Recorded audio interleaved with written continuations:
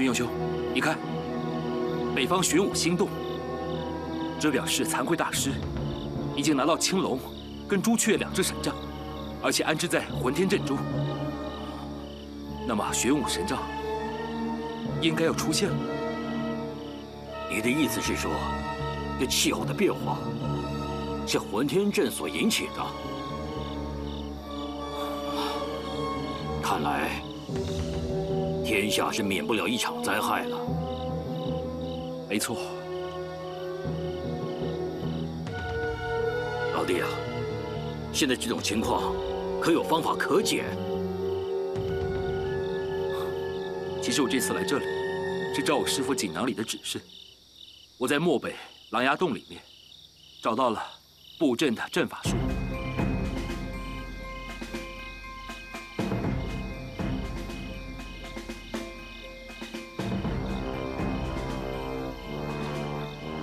是记载混天阵布阵的方法，以及破解的方法。没错，除此之外，他还记载了混天阵阵成之后，天条龟甲的三条戒律就会消失，从此天条龟甲就会变成可以随时杀人于无形的夺命龟甲。那么我们要快点阻止惭愧布混天阵呢？不行，我们不能阻止，我们反而要帮他完成。为什么？因为夺命龟甲是天条龟甲要变成有天地正气的千年龟甲，一定要经过的过程。只有完全没有邪气的天条龟甲，才能够守护龙金珠，跟龙金珠合而为一，守护大明朝的龙脉。这夺命龟甲要如何才可以变成没有邪气、没有三条戒律的千年龟甲呢？我必须要找到一个有苍龙命格的人，来完成这个使命。那么，天条龟甲上面杀人于无形的诅咒就能够完全去除。老弟，这混天阵要是不成啊，是会天摇地动、天下大乱的。为了一个龟甲，却让天下百姓受灾，这代价太大了。君勇兄，我们可以依照这阵法书的记载，在阵成之前，将灾害引到西北荒漠的无人之处，天下苍生。就可以躲过一劫。混天阵只能启动一次，阵成之时，也就是阵毁之时，从此混天阵在这世上消失，天下就不会再受混天阵的威胁。唉，我们要去哪里找这个有苍龙命格的人呢？依照师傅给我的锦囊指示，往北走，我就能找到这个人。啊，老弟。你不回去还要继续走啊？这万一惭愧不成了混天阵，那天下的百姓就没有人可以帮助他们躲过灾难了。君友兄，这个可以解救天下苍生的人，就是你。我，我身负重任，必须要找到这个有苍龙命格的人。无法赶回濠州城破解混天阵，万一混天阵布阵完成，让惭愧大师的计划得逞。天下苍生不知道有多少人会受到伤害，所以我要恳求君用兄代替我去濠州破解混天阵。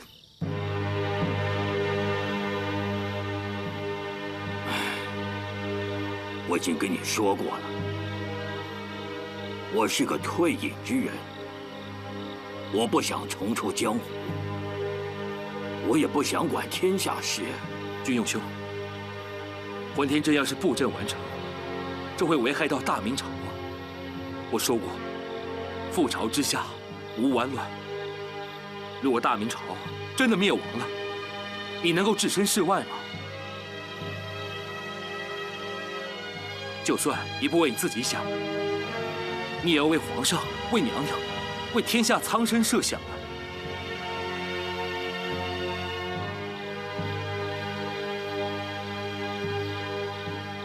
好吧。老弟，我只是说不过你。为了大明朝的安危，我愿意重出江湖，替你破混天阵，也替皇上重整大明江山，以免被白莲教的奸人所害。好，君永兄，我先敬你一杯，我代替天下苍生向您致谢。不敢，老弟，你这步走的是险棋呀！君友兄，我也是没办法才这么做的，一切就请君友兄多担待了。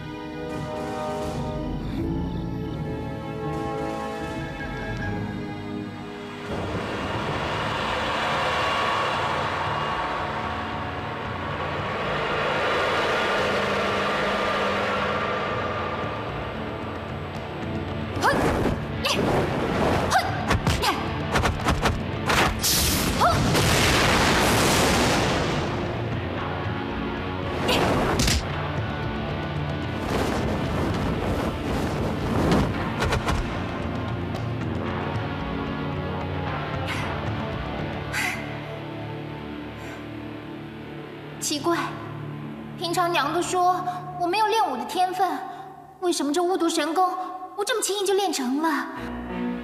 难道这巫毒神功特别适合我练？但是这是为什么呢？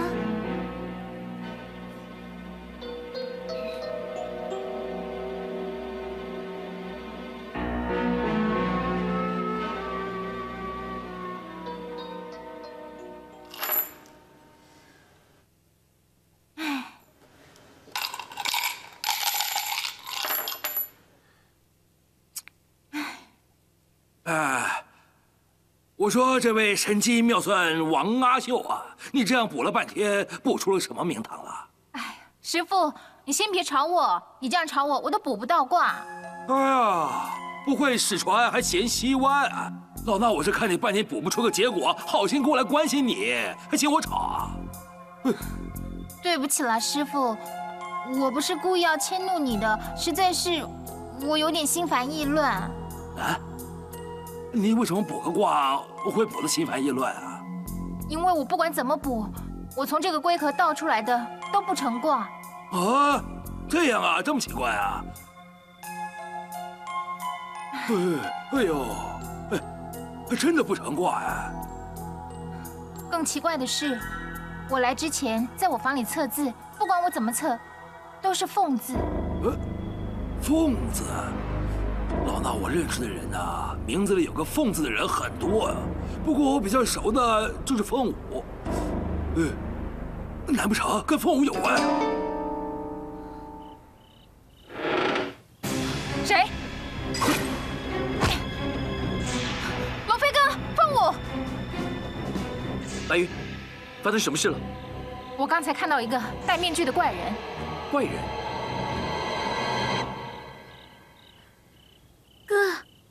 看这个龙凤香包，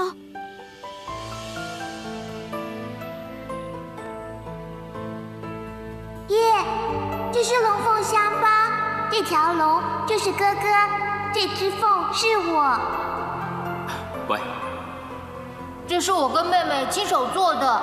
爹，你把它带在身边，它就像是凤舞跟我陪在爹的身边。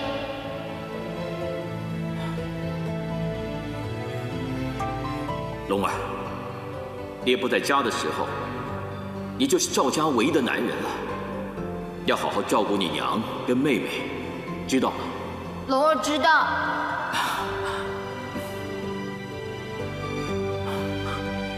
这个香包是我们亲手做的，这个结是我亲手打的，那个时候你才八岁，为了要缝这个香包，你的手还被针扎了好几次呢。我记得那一天，爹穿着战袍，要准备去打仗。我们亲手送了这个龙凤香包给他。这龙凤香包会在这里？难道爹没死？他回来了？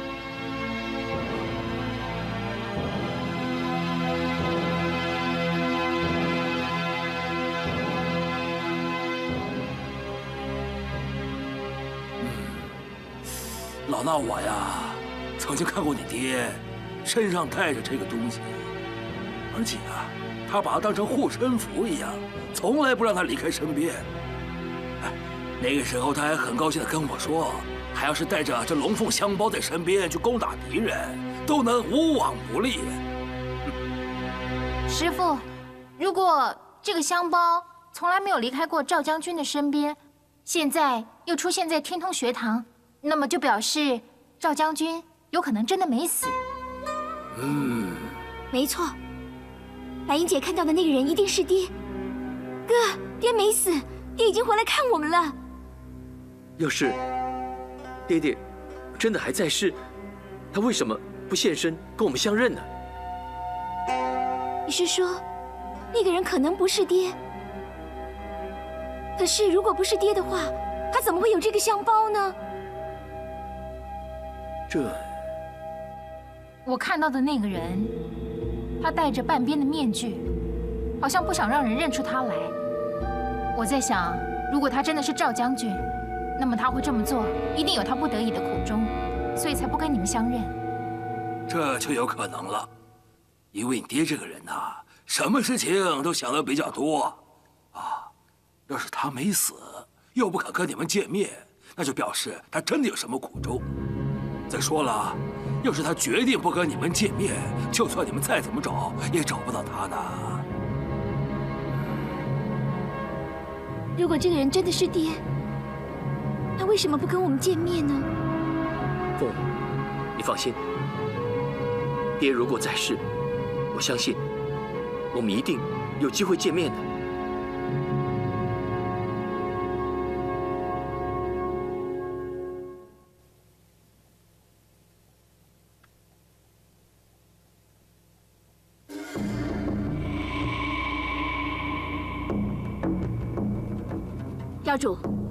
方湿气这么重，真的很奇怪。这是因为玄武神杖感应到混天阵的启动。才会形成这么重的湿气。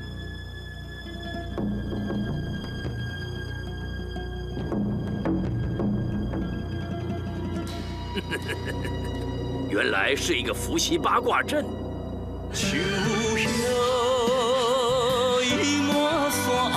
原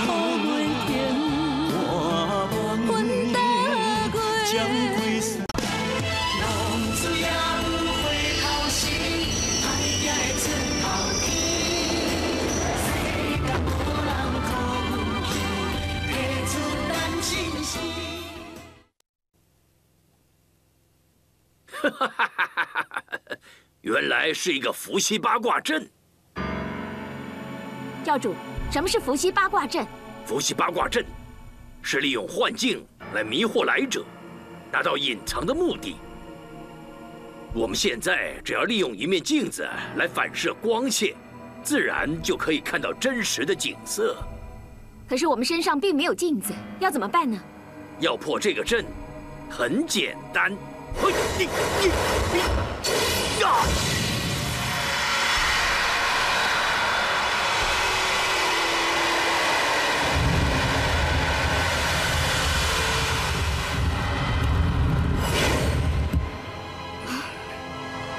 去路已明，我们进去。嗯。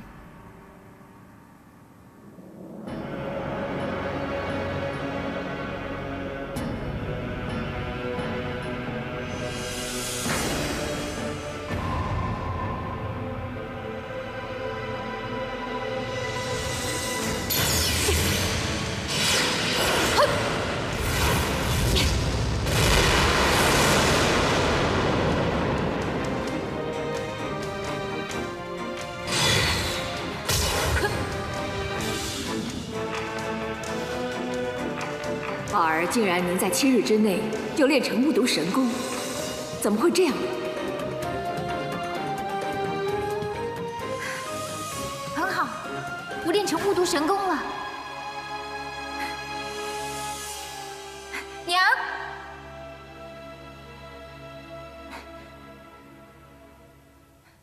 娘，你不是常常说我都没有练武的天分？可是你看，我才短短的七天就练成了巫毒神功。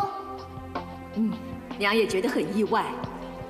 巫毒神功是我们祖师婆婆所创立的独门武功，阴柔无比，不是一般人练得起来的。自从祖师婆婆以来，历代掌门也只有三个人练过。娘没想到你竟然能在短时间之内就练成巫毒神功。啊，我明白了。你明白什么？宝儿。你知不知道为什么你能这么快就练成巫毒神功吗？因为，你是一个本性阴柔的女孩，而且你是祖师婆婆所选派出来做朱雀神杖护法的人。我是朱雀神杖的护法，那个高明师傅也这么说哎。但是为什么我是朱雀神杖的护法呢？只有朱雀神杖的护法才能拿走朱雀神杖。哦，你见过高冰师傅？他想拿朱雀神杖，连摸都还没摸到，就被火烫到了。至于你，根本就是易如反掌，轻轻松松就将朱雀神杖拿走了。就因为你是朱雀神杖的护法，如今。你也练成了巫毒神功了，更加证明你就是祖师婆婆所选派出来做朱雀神杖护法的人。嗯，可是宝儿不明白朱雀神杖的护法要做些什么。万物生长，一定有一个时机跟领悟。既然你是朱雀神杖的护法，而且也练成了巫毒神功，那么你就要好好运用，千万不能滥用祖师婆婆所传给你的巫毒神功，知道吧？嗯，我知道。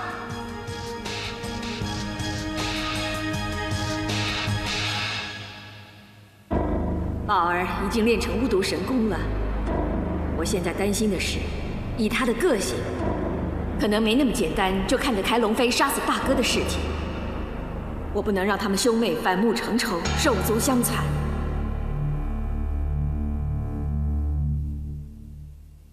凤舞，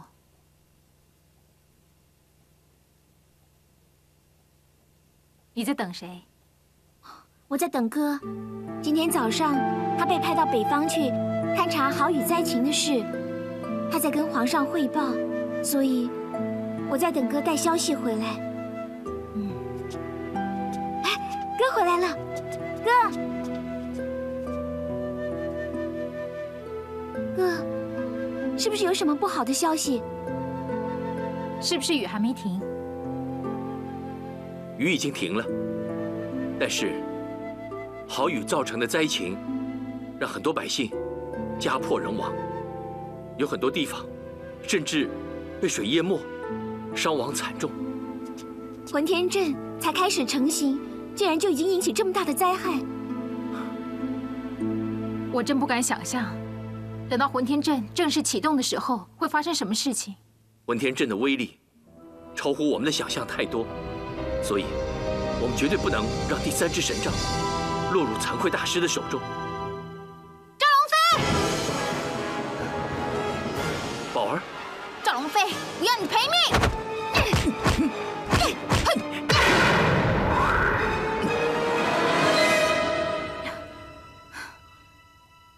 你施展的是什么武功？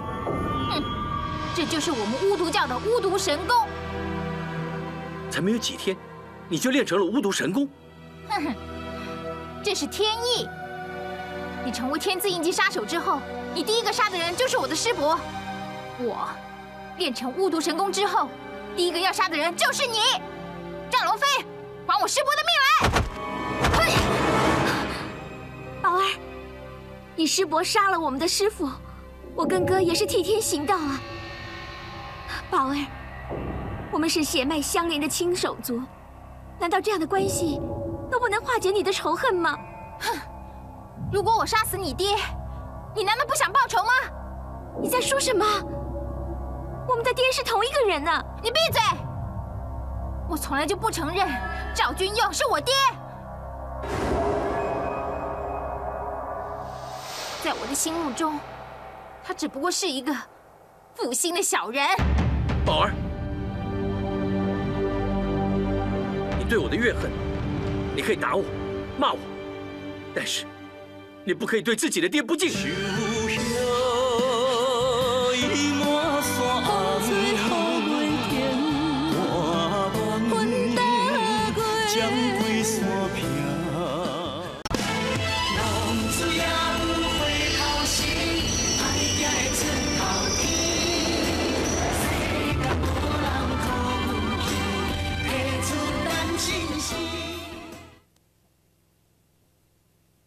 你对我的怨恨，你可以打我、骂我，但是你不可以对自己的爹不敬。为什么不可以？赵军用照顾你，抚养你，但是他为我做过什么吗？他甚至根本不知道，在这个世界上有我这个女儿。但是我的师伯呢？他疼惜我，他抚养我，他爱我。我走的第一步路，是他牵我走的。我吃的第一口饭，是他喂我的。我会写的第一个字，是他教我写的。他才是我爹！你杀死的城主才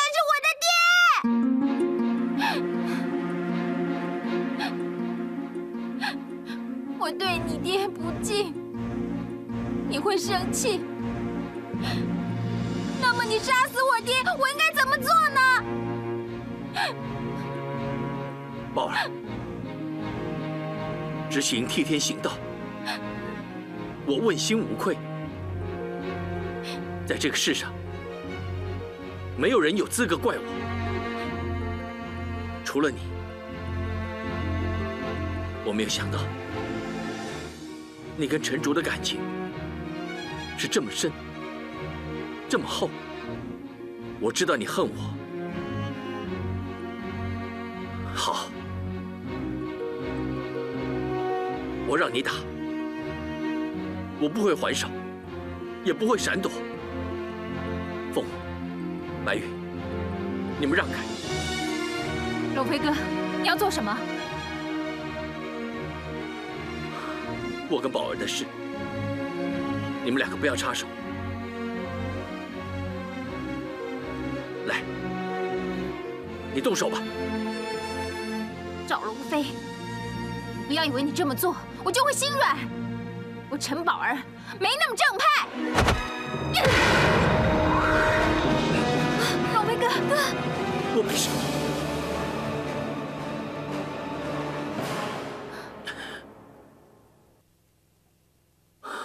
继续，把你的怨恨全部都打在我身上。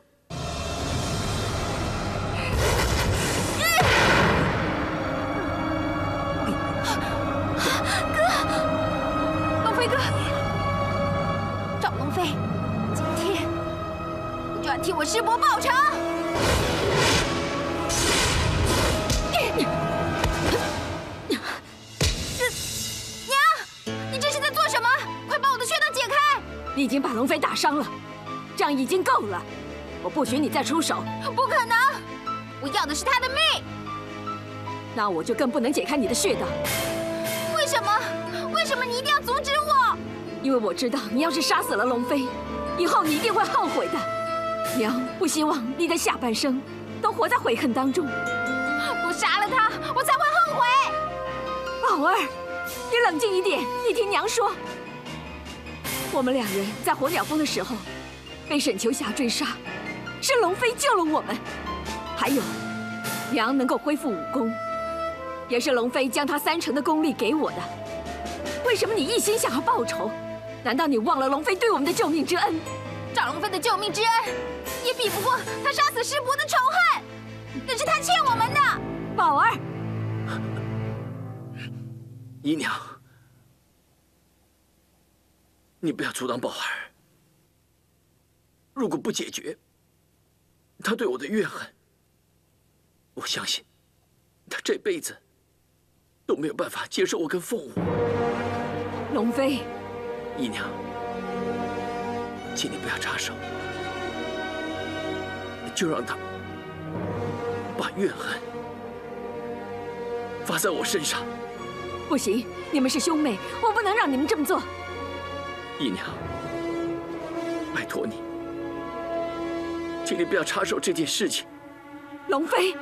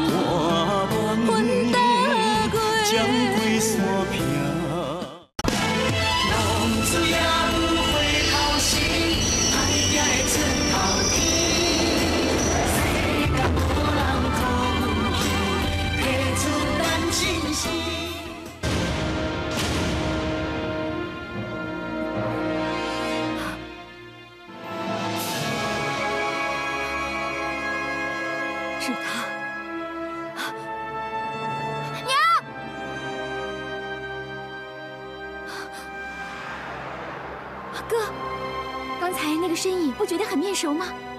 那个人的身影怎么跟爹那么像啊？那个人，就是我看见的那个人。龙凤香包就是从他身上丢出来的，一定是爹。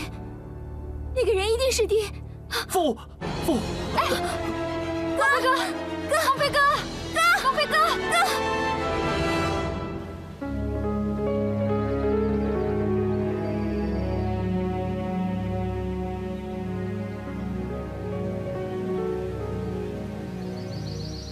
赵君佑，是你对不对？我知道是你，你快出来！赵君佑，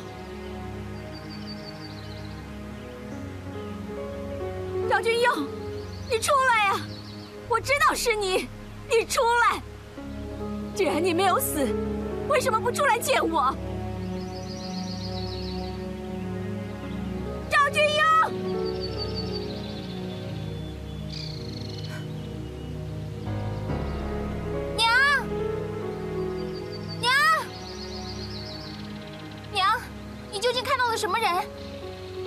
爹没死，一定没错。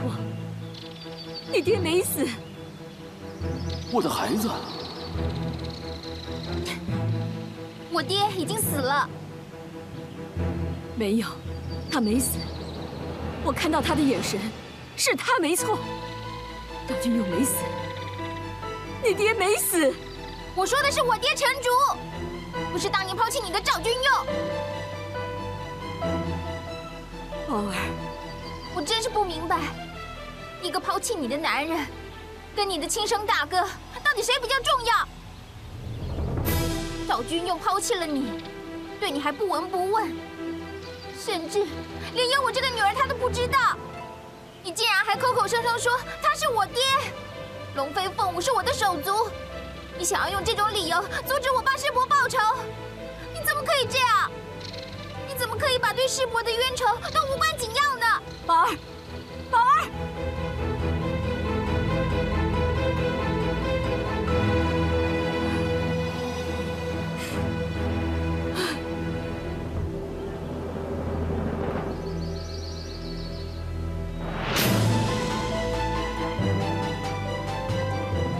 玉少，是我辜负了你。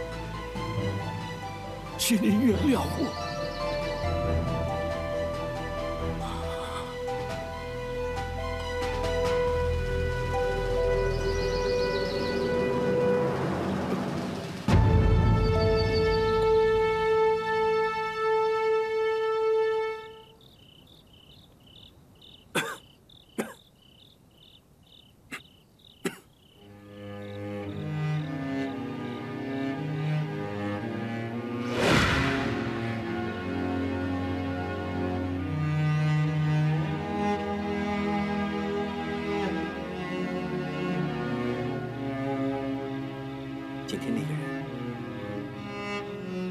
是爹吗？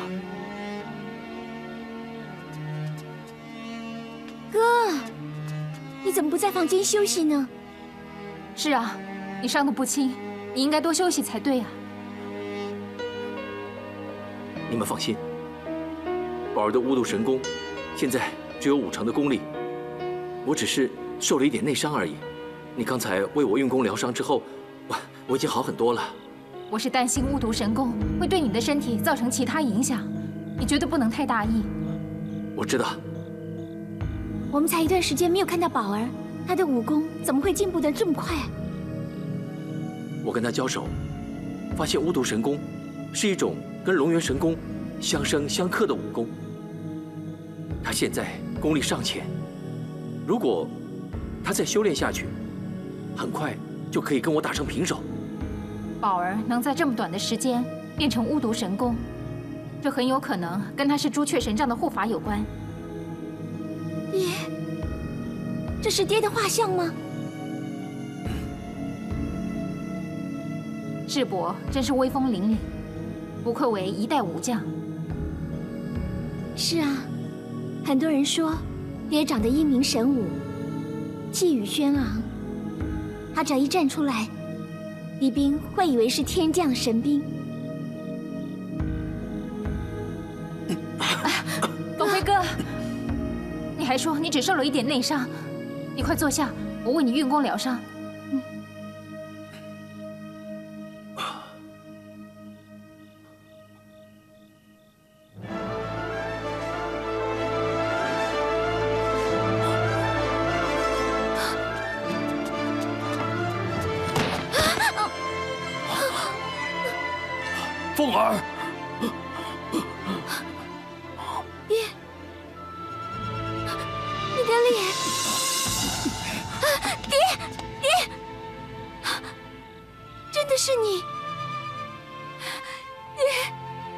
真的还活着，爹，我好想你。这位姑娘，我只不过是一个残废的老人，怎么可能会是你爹呢？不可能，我不可能认错人。你刚刚叫我凤儿，只有爹跟娘才会叫我凤儿。赵军用是一个英明神武的大将军，怎么会是我这个模样？母女连心，不管你变成什么样子，凤儿都会认得出来，你就是凤儿的爹。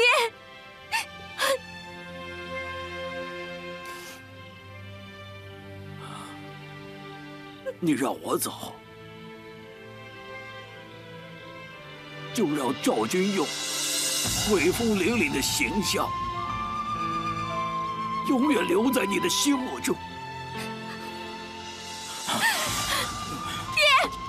葡萄美酒，夜光杯，欲饮琵琶马上催。爹，小时候，每一次我念这首诗的时候，我都会哭。你记得是为什么吗？葡萄美酒夜光杯，欲饮琵琶马上催。醉卧沙场君莫笑，古来征战几人回？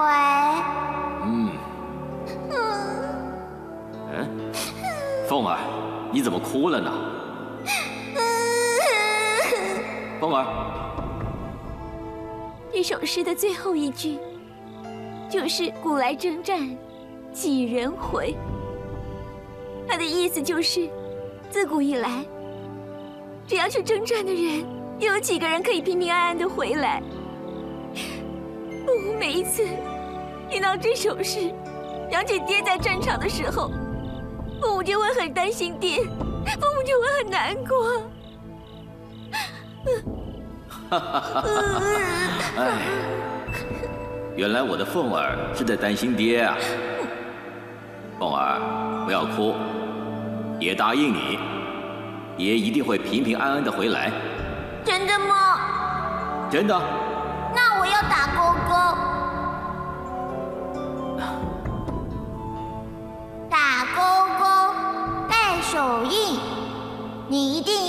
守信。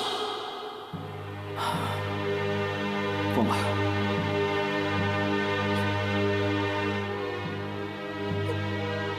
大狗狗，盖手印，你一定要守信。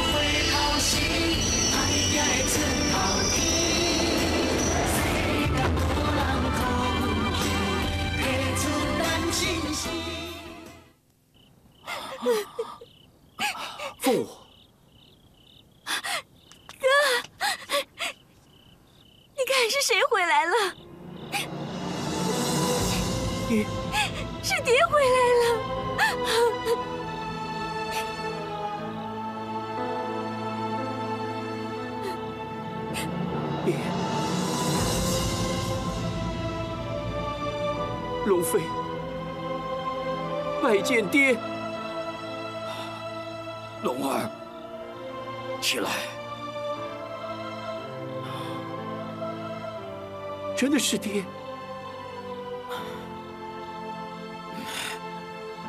很好，龙儿，你已经变成男子汉了。龙儿，爹问你，身为赵家的男人，应该要如何？身为赵家的男子汉，要顶天立地，尽忠报国，绝不贪生怕死。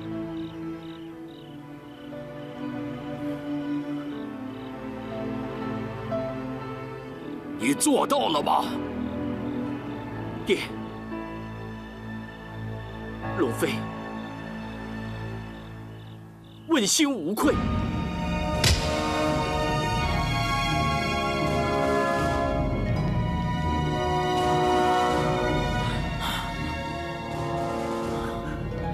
龙儿，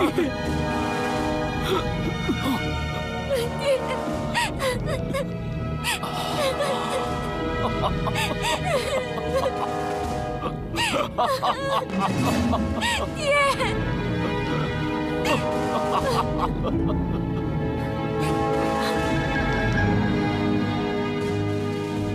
什么？赵军用不但没死，还回来跟龙飞凤舞团圆了。是啊，皇上，赵军佑啊是昨天晚上回来的，老衲我也是刚刚才知道的。原来赵军佑啊去帮皇上找寻龙金珠的时候，虽然摔落断崖，但是他没死，他找了一个地方隐居起来了。哦，当年我师兄一直找不到赵将军的尸体，我师兄心里就有预感，赵将军一定没死。师兄果真是料事如神。哎，不但你师兄料事如神呐、朕也是这么想的。哦，赵军佑啊，帮朕打江山的时候，打赢了好多战役，遇到再大的危险都能够平安回来。所以朕早就怀疑，一个小小的山崖能难得了他吗？嘿嘿，这个赵军佑啊，不仅是大明朝的开国功臣，也是朕的好朋友。所以啊，高斌，哦，皇上，去把他带来，朕有很多话要跟他说。呃，这个嘛，呃，啊，朕知道你的意思了。这个赵军用啊，为朕、为大明朝付出这么多，朕应该亲自去天通学堂看他，对吧？走走走走。呃，皇上，哎，怎么了？呃，这个嘛，这这这，哎呀，高斌呐，你今天怎么了？说话吞吞吐吐，支支吾吾。呃，不是啊，皇上啊，你如果要见赵军用啊，嗯，你就要有心理准备。心理准备。哎呃怎么？他是变胖了，还是变瘦了，还是变得比较好看了？啊？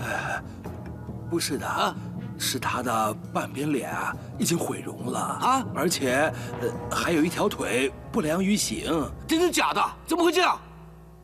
这件事情对赵将军的打击一定很大。想不到赵军佑居然没死，可是他为什么到现在才出现？哎，嘿嘿，香爷，你怎么都不说话呢？是不是你心里也很同情赵将军的遭遇啊？不是，我认为，虽然赵将军的遭遇很不幸，我们也没必要因此而同情他呀。嗯，哎，胡惟庸啊，你说了什么话？你知不知道这赵军用是为了大明朝才掉入山崖？你现在说这些话，是不是太没良心了啊？启禀皇上，赵将军这个人，他最有价值的地方，不是他的外表，也不是他的脚，是他的才华。虽然他现在残废了，只要皇上肯好好的重用他，他依然是个顶天立地的男子汉。嗯，朕等一下去找他。也是希望他入朝为官？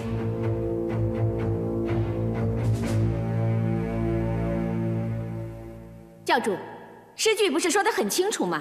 玄武神杖就在镜塔内，为什么我们找不到？理由很简单，你跟我都不是玄武神杖的护法，当然找不到了。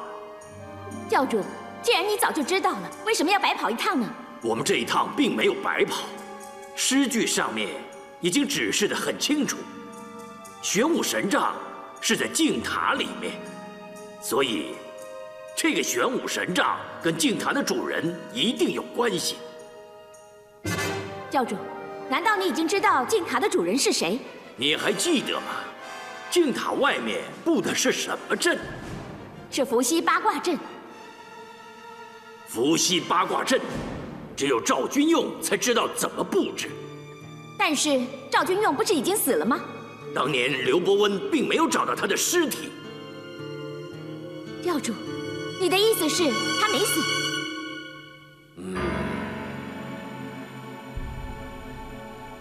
事情办得如何？启禀教主，有教徒发现东方玉跟宝儿他们母女俩已经翻脸分开了。所以宝儿现在已经离开东方玉，孤身一个人。嗯，很好，继续跟踪他。是。所有状况怎么会这么顺利？宝儿是朱雀神杖的护法，又是赵君用的女儿，现在她跟东方玉翻脸了，那就是我们很好的机会，把宝儿吸收过来，为我们白莲教所用。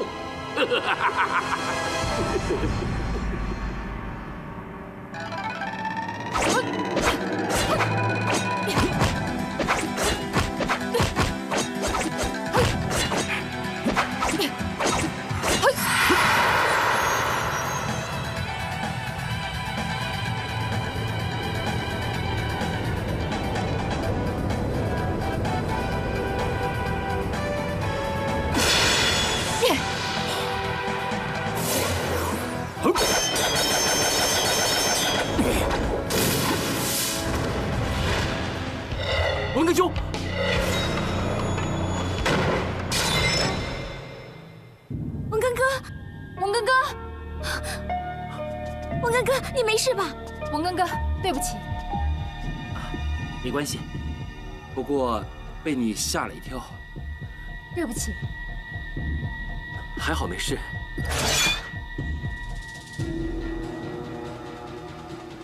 请师伯指教。白云，你的汉龙剑法练得很好。